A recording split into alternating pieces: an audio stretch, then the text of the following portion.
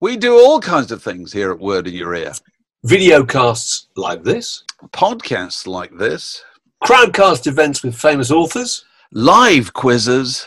and we can guarantee to make your next birthday one you'll never forget. There's only one way to guarantee getting all of this, to getting it before anybody else, and that's to sign on to be a supporter on Patreon. Full details at this address.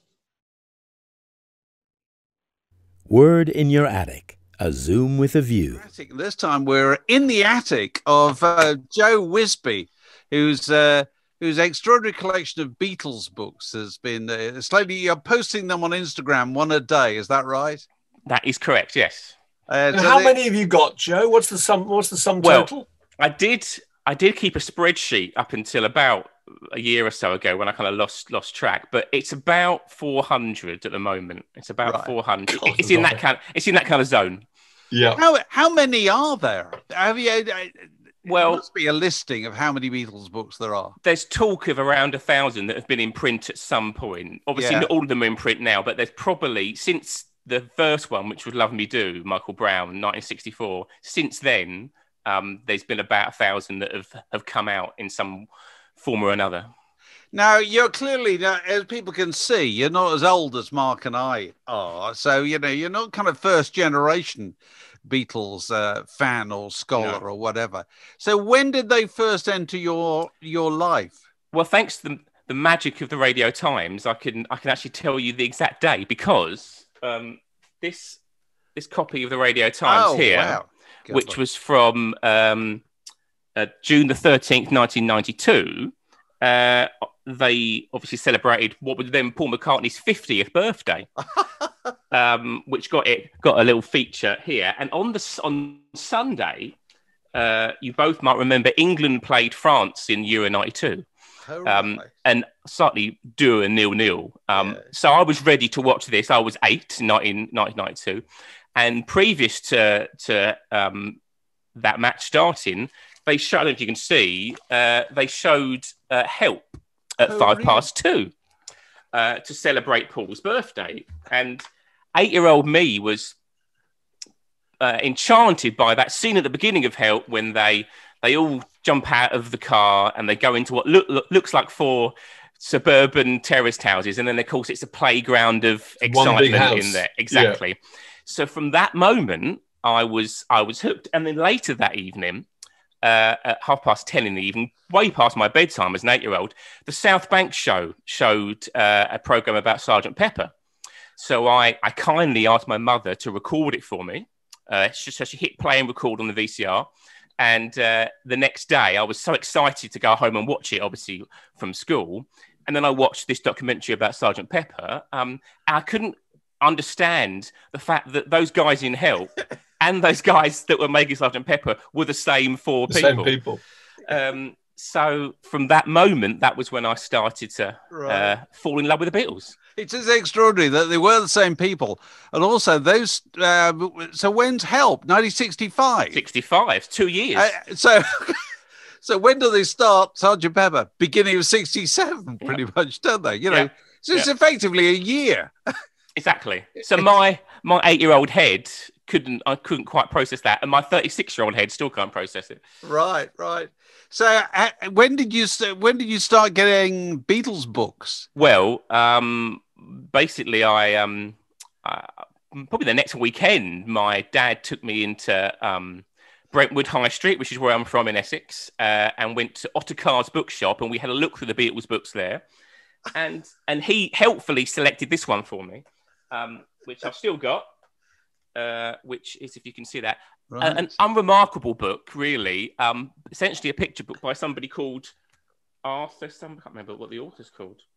Arthur Davis. I don't know if, if you know that name, but yeah. Now this is a very basic, uh, as you can just probably tell by the size and the um, uh, spine, etc. Story of the Beatles, uh, and yeah, this told me essentially what happened uh, between the start and 1970, and I was like, wow, uh, you know, I've I've got to go on. So yeah, even though this is obviously not of any great depth, it's no, no, no, got no. a close, very dear to my heart as I, as I it started an odyssey. Perfect starter pack. for the Exactly, eight-year-old. Exactly. Exactly. Yeah. You see, it's, it, I'm fascinated by this because um, you know, for people like Mark and myself who kind of grew up with it, you Mm. know, it just ha- it was stuff that happened, you know, and only later did you turn it into a story. Yes. Whereas you approached it as a story, didn't you? Because obviously it had taken place in the past, and so it was like any subject of kind of historical interest. So you, your dad just took you and said, "That'll tell the story." Yeah, yeah.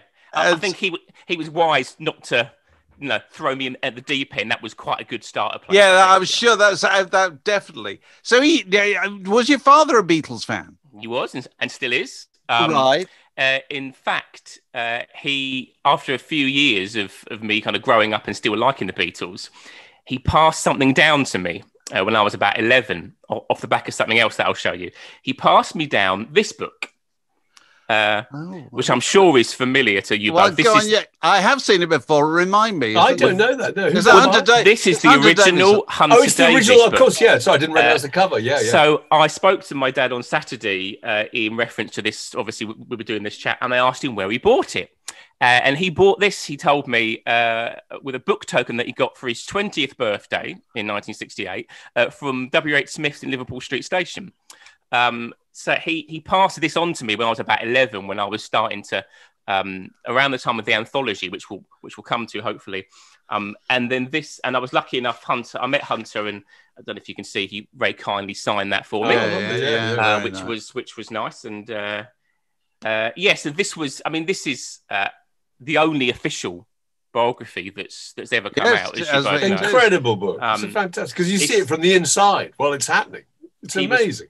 He, you know, he was there through the um, the Maharishi experience. He witnessed quite a Yeah. lot of the the Sergeant Pepper um, songwriting sessions. Um, it's got its faults and it's quite sanitized, uh, but it's yeah, it's an essen- it's an essential tome, I would say. Absolutely, absolutely. So you met Hunter Davies. Yes, I met. Um, I went to when he did the John Lennon letters book uh, about ten Oh, years ago, yeah. and he did a signing session there, and he was obviously quite surprised that then twenty-six-year-old me had a copy of the 1968 Yeah. book. So I, I told him the same story. Yeah, he, he, we had him as a guest on on Word in Your Ear at a live event, and uh, he was lovely. It was brilliant. But uh, I think he's probably. It's fair to say his memory might be. You know, it's difficult marshalling. You Mm. know, facts, whatever. Mm. And he has this brilliant technique when being interviewed, and goes. And I think at the time the Beatles were working on their fourth album, and then he points at you, and you go, "Oh, Beatles for sale." He goes, "That's the one." And To be he- fair, McCartney does pretty much the same thing. doesn't he? I interviewed McCartney once. He, he affected to not know which had come out first, you know, uh, Revolver or Rubber Soul. Or right. you know. okay. And in some respects, he, he, we've got a clearer idea of this than he has. yeah. It matters Yeah. more to us. absolutely. Absolutely. So the, the, when did, when did the anthology come along in all Well, the so the anthology actually education? uh, came out, as you remember, uh, was 1995. So I was uh, my first year of secondary school. So I was I was 11. Um, and actually, uh, I was talking to someone else about this recently. For people of my generation, the anthology was a, a huge uh, kind of watermark because suddenly there was, you know. Uh, there was all this new stuff for a start. You know, we'd gro- we'd had a little bit of that of the um, obviously the standard release stuff, and they were everywhere. And they were and then a particular magazine came out that that year, which really uh, took me deeper into the Beatles. And you both may recognise it uh, Yeah. because, because it's Is it this. Mojo? Oh, yeah, Magic- yeah, yeah. right. That's right. So uh, you. Your names both appear in this. Now, this this came out, as you can see on the front, uh, a seventy-page fab spectacular. Um, With which- four different covers, I think. Four different covers Yeah. it was, Mark. Yes, I, I got this one. Now, this uh, was really the first kind of magazine that I that I got um, that had the Beatles on the cover because really through 92, 93, 94, obviously that was you know Mojo, Q, and stuff. They, they did feature the Beatles, but not that often. Suddenly. That that winter, they were on every front cover. They were on, you know, um, in the in all the papers, in even. Mm, mm. Um, so there was some fantastic Beatle writing in in that magazine, uh, and that led me on. Obviously, now I'm a bit older, so that led me on to even to go even deeper into uh, in- into the Beatles literature oeuvre.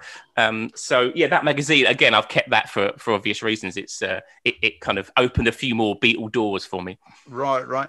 And so, how were you responding to uh, the contemporary music being made at the time? Were, were you a fan of I don't know who Nirvana or whatever. Well, no, I went. Maybe Oasis. And Oasis wouldn't were yeah. Um, Oasis were a group that I I liked. Um, looking back now, I think some of that might have been slightly misplaced. Um, but no, that that music was important. Obviously, a lot of the, a lot of that Britpop stuff came from that '60s. You know, be it the Kinks or the Who, etc. Um, uh, so yeah, no, I. I I, I, really enjoy Britpop, but the Beatles were always going to be, um, you know, why listen to, you know, right, right. Oasis when the Beatles are there. I can just listen to that, you know.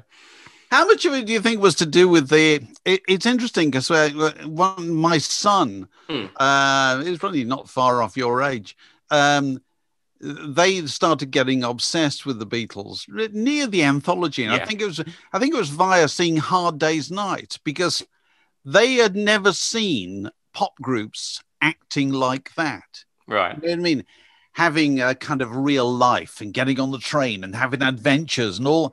And that was a huge part of what appealed to them Okay. about the Beatles. It was the kind of monkey side of them, if you like. It, it just looked like they were in- they were just having the best Yeah. time, weren't they? They were just Yeah. having more fun than you know. You didn't really a lot. Of, you know, you mentioned Nirvana there. When you watch videos of Nirvana, as much as it's great music in its own way, you know, they didn't look like they were having a terribly fun time making it. You know, whereas Hard Day's Night, they were, you know, it it just looked like the the most fun you could possibly have.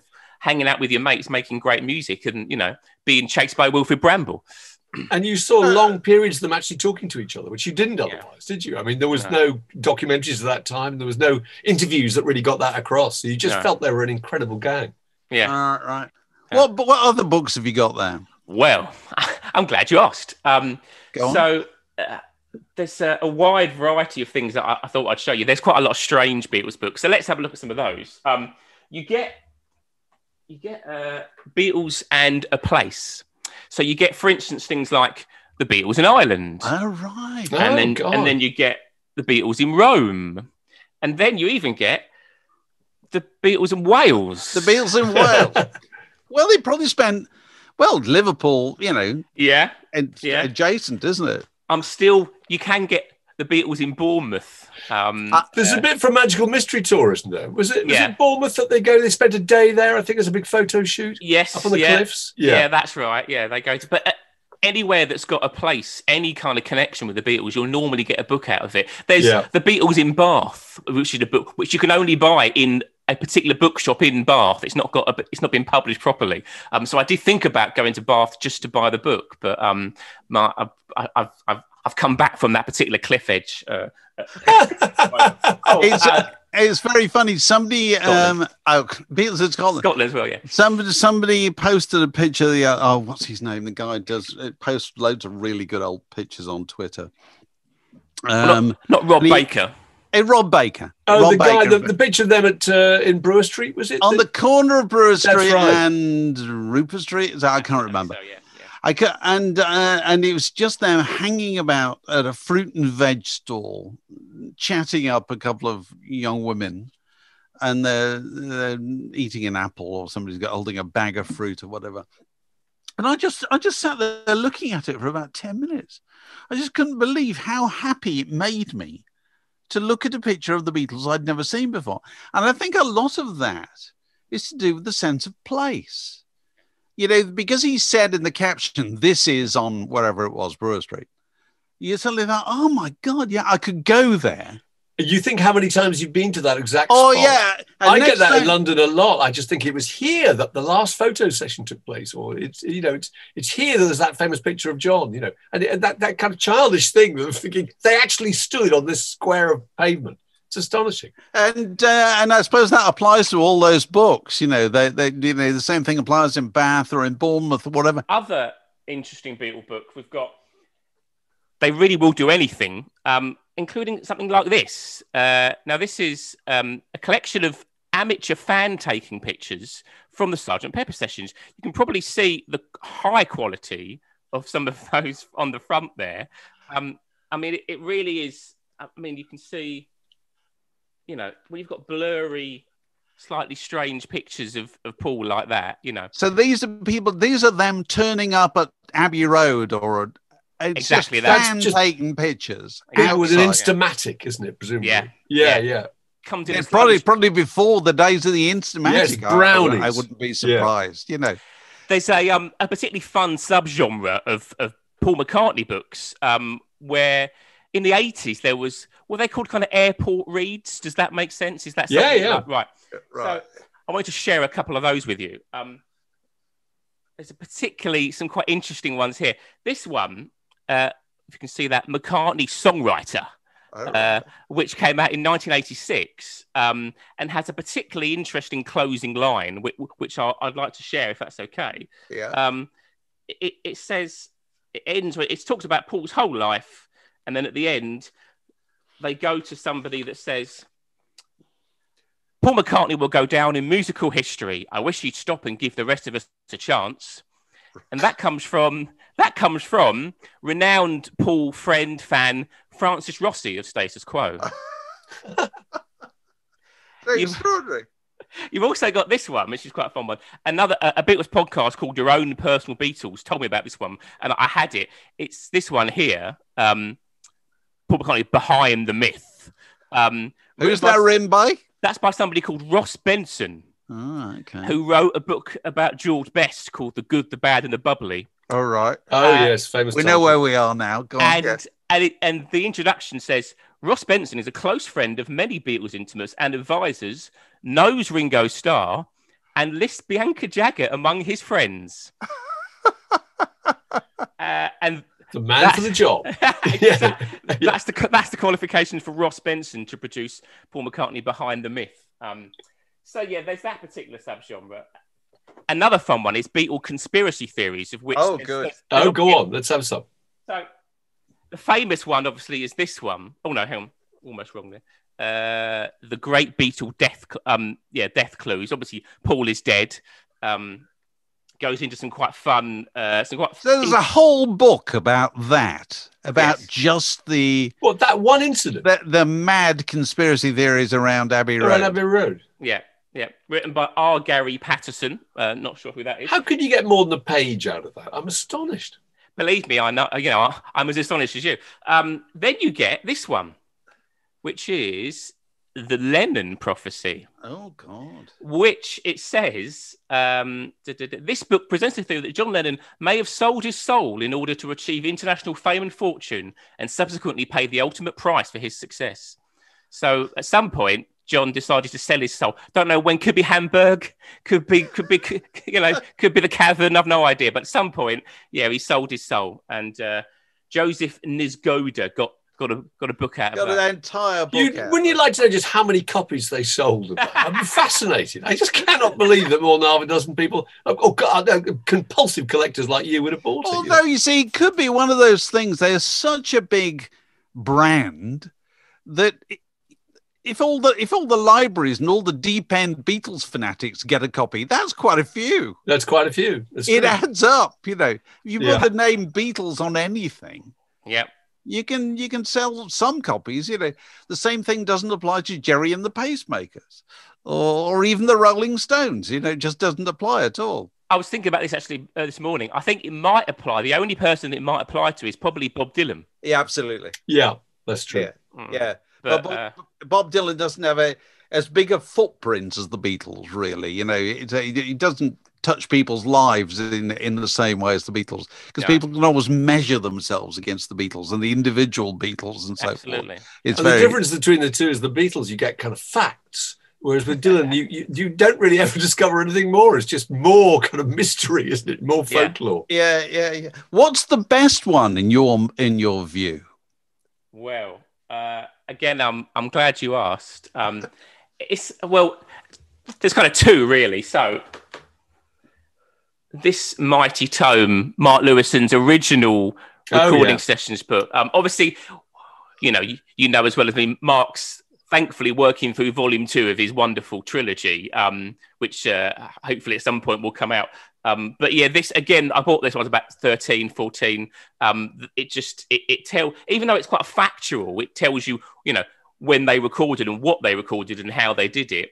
You know, that there's enough magic in these pages that, that brings the music alive that, that uh, then when I listen to it again, having read this, it kind of sounded different. You know, you can hear Ringo slapping a suitcase on, Yeah, uh, yeah, yeah. and I love oh, her. yeah, Once you hear those things, you Once always look you- out for them. I can only recently discovered when I read uh, oh, uh, George Mar- a book about George Martin. Yeah, it must be Kenneth Womack's book. Ken Womack, yeah. uh, that he pointed out that there are bongos on a hard day's night. Mm. And once you're told there are bongos on a hard day's night, you can't unhear them. no, Yeah, it's Yeah, like finding out that Lady Madonna is based on Bad Penny Blues by by Humphrey Lyttelton. Once you've heard Bad Penny Blues, you just think you just you, you hear it in your head every time you hear Lady Madonna. It's the yeah, same yeah, song. yeah. So there's that one. Go on. What, we're going to say the other another one is now. This is a slightly uh, maybe controversial choice. It's this. Paul McCartney's book with Barry years- Miles many years from now. Oh, right, okay. Now I love this because I mean I'm a Paul. I tend to you know vote for Paul eh, when it comes to favourite Beatles. Um, and what's great about this book is through the 80s, as you know, as you both know incredibly well, his stock wasn't at its highest. Uh, things like Broad Street and uh, you know albums like Press to Play weren't particularly well um, received, and obviously he was still alive, which obviously John wasn't. Uh, so even though that book, which comes out in 1997, it was accused at the time of him slightly feathering his nest a bit, um, where he, you know, he kind of came out and said, "I'm the avant-garde Beatle," and I, I was out with John Cage, and uh, while John was, But you John know- was sitting in Tittenhurst Park, yeah, watching telly. That's right, yeah, Exactly, yeah. exactly. But the thing was, he was that thing. You know, he he was going out and watching plays and uh, osmosing all this stuff, which he then brought into the studio, made all that wonderful music, and I think Paul's voice needed to be heard at that point. And I think, really, if you think about it, since then, his reputation has only gone on the incline. You know, um, Yeah, you know, I mean, the excitement around that album announcement that came out last week for McCartney Three p- you know, you, you probably wouldn't have got that in 1987. I tell you, it's really funny, you see, because I noticed this, and I noticed this via social media through people like you and uh, and the guy who does "I Am the Egg Pod" and Oh, yeah, yeah, for sure, these, they- and people talking to people like Pete Paphides as we did, you know, in Word of Your Ear uh, back in March. I think I think Pete made the point that it was only when John Lennon died. That he realized he realized that John Lennon had been in the group with Paul McCartney, isn't that That's right, right. Mark? Did he say Yeah, he something was, like yeah. that? He just knew more. Paul McCartney was the, was the leader of a group called Wings, and then very slowly he worked it out in reverse. And he said, "I can't believe these two guys actually ever knew each other or were, were in a band together. It's Mm. amazing. Well, it's much like you. You know, he was repiecing it together from as a bit of history. Yeah, there, I mean, there's a, and there's clearly a whole load of you doing this. Is that the case? You know, the, I am the egg pod. Who's the guy who does that? Uh, that's Chris Shaw. Chris Shaw. Um, yeah, he. I think you spoke to Chris- you did. I, one, did, I spoke, you? spoke to Chris Shaw Yeah, a while back. yeah. Fans on the run is the one. There's a Fans on the run. I've been on that. Yeah. So I Yeah. Do. I mean, what I do, I, I on the back of the Instagram page, I do a, a podcast which is somewhat unimaginatively called the Beatles Books Podcast, um, where I speak to authors about, um, you know, often upcoming books, um, but also, you know, older books, just to get to the idea of, as as we said at the start, there are a thousand of these things, and people still decide to write more of them, you know, um, and that that's quite an interesting concept. So I try and work out you know where they're coming from and speak to them about the Beatles. Obviously, um, I spoke to uh, your old friend, yeah, Paul Du Noyer. Paul Du Noyer. the other day. That's right. Yeah. um, who, and Ken uh, Womack too. and Ken, and yeah, I've got quite a few others uh, lined up, which is good. But yeah, Paul was saying in his one that when he was at the NME in 1979, they had to really twist his arm to go up and interview Paul McCartney. They were like, you know, I know you don't want to do it, Paul, but uh, you might have to speak to Linda as well. Um, and, and Paul Denoy was like, oh, great, yeah, fantastic. You know, And I, I, I think he. They tried to sell it to him, the NME, by saying you can see your mum at the same time. Paul, as you know, is from Liverpool. But you forget, uh, in the No, 80s, as Dave was saying, they were kind of, their, their reputation was very flat. We did a thing on Q 20 years ago today from Sergeant Pepper. And actually, it was very unusual to get Mm. excited about the Beatles at the time. Well, didn't you put McCartney on the first Q? Was he the Yeah, one? he did. was on the He first the cover, that's yeah. right, Yeah. and and that was very that was um you know i don't know if it's calculated or not but that was certainly instrumental in in that that that kind of change in people's perception of him that Right. you referred to because he really did talk about that uh, Yes. you know his uh, interest in the avant-garde and so forth and There's uh, a, a, a famous interview that he did. I, I've always wanted to ask you. I don't know if you were involved in this. I think the guy's called Chris Sal Salewicz. Salewicz. Yeah. Yeah, well, he did. He did that. That first interview. He did that first interview. That yeah. was for cute. Now that's They talk fa- about trepanning, don't they? About having the head, bo- the whole board in his head. That's Yeah. Now somehow the original tape of that got out. I don't know how, um, and that's on YouTube, and you can listen. You can hear like the kettle going, and Paul's making Chris these, t- you know, cup, nice cup of tea. Um, and that's a fascinating interview because that's one of the real open interviews that he gives. Now you get a lot more, you know, you both know quite stock answers from him. But at that point, he speaks quite openly about you know him and Yoko and um, the relationship he had with John before he died and stuff. So yes, and, you know that that first issue of Q, I think was was definitely contributed to the that you know. Well, suppose it was the first. Would it be one of the first interviews that he where he, he was no longer expected to mourn John Lennon? You know that that was Absolutely. no longer. The, so he could say, "All right, this is."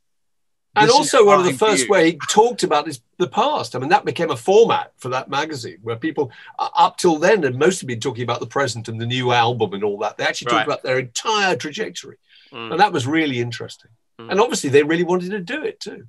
yeah, yeah. But some, absolutely. somebody really should write a book about the Beatles. Almost, I know people have written books about the Beatles after the Beatles, Mm. but it, it's more.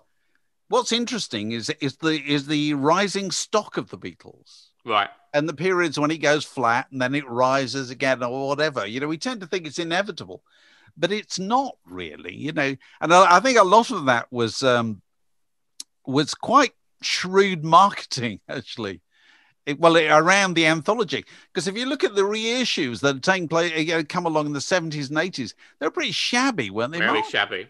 They were. I mean, the, the real genius behind all that was Neil Aspinall, who Yeah. really deserves the credit. Neil Aspinall, their original roadie, for God's sake, the driver of the van, you know, went on to be the CEO of Apple, and he his his strategy to get all that stuff together and and and and, and, and keep them in the kind of commercial frame. And he did a brilliant job. Absolutely amazing.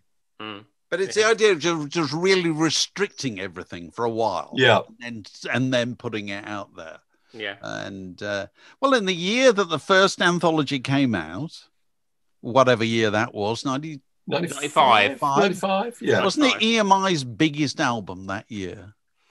I think it was something Yeah. like that. Yeah, there's an interview that Paul did around did around that time where he said, um, I think in '96, on the back of the, all three of them coming out, he said, you know, finally someone's come along that's bigger than the Beatles, and, it, It's, and it's the Beatles. it's, so you know, there's a lot of truth in that. A lot of Yeah. truth in that. So Yeah. what, what what's your um what's your most recent acquisition of a Be- uh, of a Beatles book? well, um, I, I slightly put off. Get now, I don't know if you both read this. I'd be intrigued if you have. Is this? Oh right, one, two, oh, it's terrific. Yeah. I Well- love it. Do you Interesting. When Yeah. I, I, I, uh, one of the perks of doing the Instagram page and, and the podcast is that um, publishers very kindly send me copies Yeah, of yeah. forthcoming books that I can then publicize and, and spread the good word about. Um, so th- that one, I have to confess that that was sent to me from the Right. night the night people at Fourth Estate at Fourth Estate Books. Um, it, it's We ought to say we're talking about the Craig Brown book here. I don't know Craig Brown, that. one, two, Craig three, Brown's four, one, yeah. two, three, four. Yeah. Now, obviously, Craig Brown, not a Beatle author, not someone. A lot of these books that I've got here um, uh, were people that have become obsessed with the Beatles and henceforth written a book about them. Uh, so he comes at it from that kind of slightly, you know, non-Beatle fan perspective, which I think is interesting. You know, he talks about going doing the, the tour of John and Paul's homes in Liverpool uh, and the slightly sniffy reaction that he gets when he starts making notes and stuff. You know. Um, uh, so yeah, it's an interesting book. It's good. Sometimes it's good to kind of step back a little bit Yeah, and not yeah. get someone that knows every take of every, um, you know, of, of every single. Really fresh approach, I thought. Really Uh, interesting. But I, I'll, I'll tell you what. telling all the stories, isn't it? the funny thing about Yes. that book, because Mark and I were discussing that, I think probably when this when this uh, lockdown first happened, weren't we reading that? Yeah, Or- we I did. think we probably were. And um, yeah, because I was actually I was I was supposed to be reviewing it for um, whatever Saturday review, which didn't happen because of lockdown. And I was reading it slightly ahead of you, and uh, and I was speaking to Mark and said, uh, I've, I've read this latest bit. And I came to this bit in the book where he, he talks about the Beatles are playing, I think, the, not the Star Club, the top 10 club in Hamburg. yeah, they're in Hamburg. That's right. 1961, I think. And in is. walks In Malcolm walks Muggeridge. Malcolm Muggeridge. And Yeah. I thought, I said to Mark, this can't be real. Yeah. This, this is Craig Brown indulging his kind of sense of humor, his private eye fictional diary thing. He's just put this in here. And I was saying to Mark, that can't be real. Mark said, that doesn't sound real to me. And I was, we checked with loads of people, and loads of people said, that doesn't sound real at all. And I was about to write a review saying, if he thinks he's going to pull the wool over my eyes by saying that Malcolm Mug- Muggeridge went to see the Beatles in 1961, he's got another thing coming. When I finally managed to get hold of a copy of Malcolm Muggeridge's diary, and it took some doing, and I looked on the appropriate date, and sure enough, it was in there. So Craig Brown, by going into it, not being a Beatles kind of initiate, Hmm. Is probably a strength, Yeah. you know, when it comes Yeah. to writing. Well, his like that. method was just to go through and get other uh, kind of uh, memoirs, really, was it? By autobiographies by lots of famous people. Look in the index to see if they'd ever met the Beatles, and then Well, go that's back and retell that story. It's a brilliant idea. It was a simple. It's clearly the way that the Princess Margaret book was done. Have It you was. read the Princess Margaret book, Joe? Yeah, That yeah, I have, yeah. which yeah. I think it was. Re- I thought it was Great book. than the Beatles. Amazing book. Yeah. Yeah, great Um, book, yeah. Yeah. But they're both, you know, they're both they're both good good in their ways. So traditionally on these on these uh, word in your attic, we ask people to finish by telling us what's the greatest record ever made. I don't know if it's a Beatles record. I don't know if it's a Paul McCartney record. Could be anything at all. could the Well, Ruttles. Well, the the Ruttles, I, yeah, I forgot. Who, who can forget about the, the Ruttles? Um, well, I saw. I thought it's difficult for me to talk about the Beatles for the last half an hour, um, and and not meant and not you know suggest one, but I have got a, a- another option. So, the best Beatles album uh, is this one. Oh. Oh, okay. That's the correct Very answer. good. Well, Dave and I are both enormously enthusiastic about that. That's the first one where every single song was written by by the Beatles, wasn't it? It was no no cover versions. No George songs even on that one. Um, That's That's true. simply because it makes me happy Yeah. from start to finish. I start. I'm happier than when I when I was previous to me putting Yeah. the, the record on. And if I if I'm not allowed a Beatles one, I think the greatest record ever made is this, Oh, Uh, brief which- out spray. Okay, that's, Which- a, that's a good choice. Yeah. which does the same thing. Uh, massively underrated um, and just a wonderful, you know, s- uh, songbook from start to finish. Paddy McAloon should be Sir Paddy, if you ask me. Right, right. Well, look, uh, it's been lovely talking to you, Joe. Thank you so Um, much for having me on, both of you. Keep keep up the good work. So you're, you're continuing to post a Beatles book a day, Yes, uh, and you're also you're also interviewing Beatles authors. Yes, many more lined up. Yes, And, and- and- we shall heavily plug both these things. okay, very kind of you. Thank you both so much. Not at all. that's all right. That's all right. Great nice to see you. you. Cheers. Word in Your Attic, a Zoom with a View.